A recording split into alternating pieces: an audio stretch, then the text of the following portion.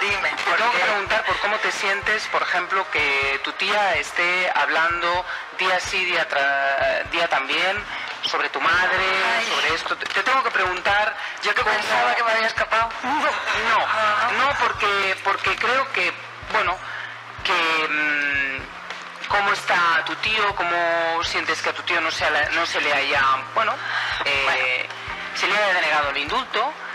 Eh, bueno, ¿cómo vives toda esta situación, aunque sea desde la distancia y desde el, desde el anonimato? ¿Cómo, ¿Cómo lo vives? Mira, yo te lo, yo te lo voy a, ahora en serio te lo voy a resumir. Y te voy a decir que mi familia es mi familia, mi tío es mi tío, me corre por aquí, lo adoro. Mi tía no es mi sangre, pero como si lo fuera. Eh, José eh, también lo quiero muchísimo.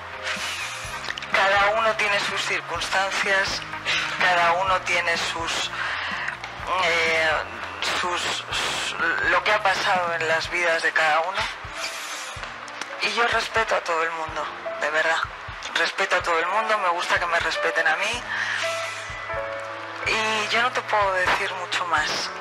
Eh, simplemente eso, que son muy familia, que los adoro por encima de todo y que los respeto.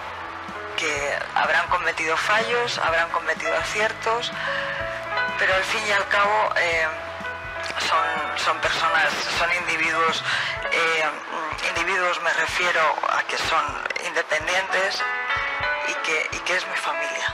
Claro. Y ya está. Normal.